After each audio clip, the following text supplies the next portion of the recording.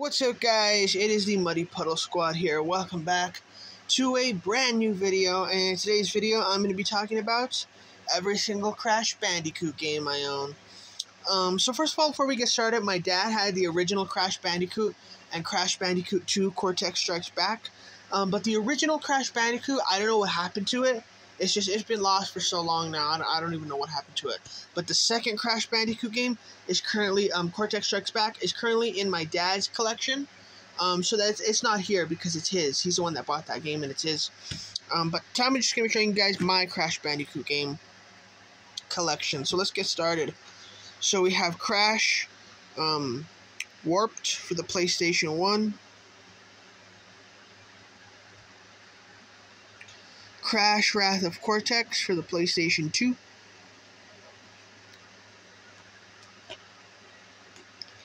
Crash Nitro Kart also for the PlayStation 2.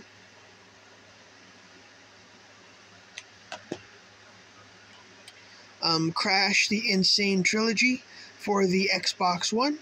And this actually includes three games. It includes the first Crash, um, the second Crash, Cortex Strikes Back, and the third Crash, Cortex Warped. But this is the remastered version, so it's not actually considered the original quote unquote games, like on the original hardware.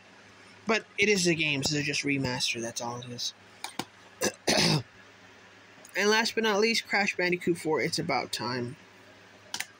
So let me know in the comments down below um, which Crash games are your guys' favorite.